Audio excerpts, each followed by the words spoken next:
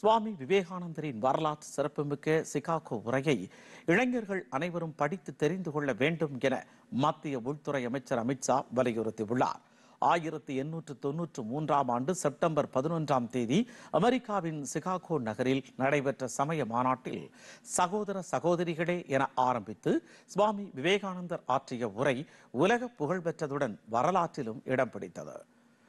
சுவாமி விவேகானந்தரின் எழுச்சிமிகு உரையை சிகாகோ உரையை நினைவு கூர்ந்து அமித்ஷா வெளியிட்டுள்ள சமூக வலைதள பதிவில் தமது அறிவுசார் உரையின் மூலம் பண்டைய ஞானத்தின் ஊற்றுக்கு உலகை விழித்து எழுப்பியதுடன் மனித குலத்திற்கு சமத்துவ சமூகத்தை உருவாக்க ஒரு பாதையை வகுத்ததாகவும் நினைவு கூர்ந்துள்ளார்.